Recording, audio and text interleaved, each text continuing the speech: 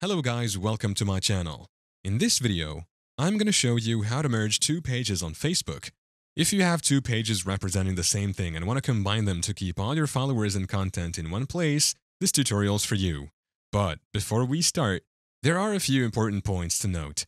First, to merge pages, you need to be an admin of both pages and the pages need to have similar names and represent the same thing. Also, Facebook's merging feature might only be available for some or all types of pages. Now let's get into it. To begin, log in to your Facebook account and navigate to the page you want to keep as the main page, the one you want to merge other pages into. Next, tap on the three horizontal or profile picture at the top right or bottom right corner. Here, scroll down and tap on Help and Support. Under Help and Support, select Help Center. This will take you to the Facebook Help Center. Use the search and search for two pages. Facebook will provide articles related to merging pages. Click on Merge two Facebook pages.